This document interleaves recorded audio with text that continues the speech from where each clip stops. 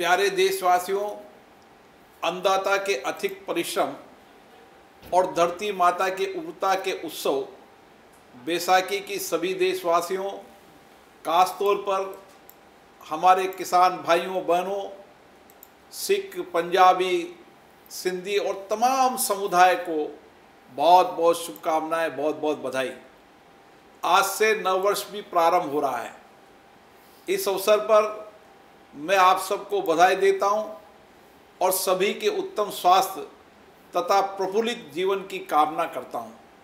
बैसागी उल्लास और उमंग का पर्व है हमारे किसान भाइयों के समर्पण के परिणाम स्वरूप खेतों में लहराती फ़सलें और समाज और देश की समृद्धि का संदेश देती है आज 130 करोड़ से अधिक भारतीय अन्नदाता किसानों के प्रति कृतज्ञता व्यक्त करते हुए उनकी खुशहाली के लिए प्रार्थना करता हूँ।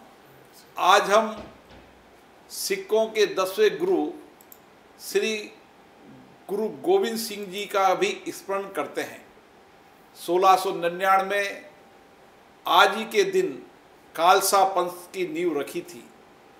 मातृभूमि की गौरव की रक्षा तथा मानवता की सेवा में सिख सदैव अग्रणी रहे। हैं उनकी देशभक्ति, राष्ट्रभक्ति हमेशा संपूर्ण समाज को प्रेरणा देती है।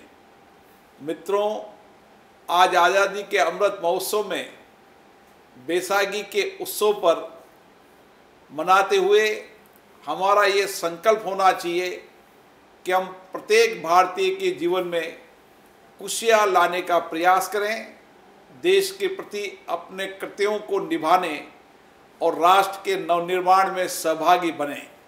एक बार पुनः आप सभी को बैसाखी की बहुत बहुत शुभकामनाएँ लख लख बधाइयाँ।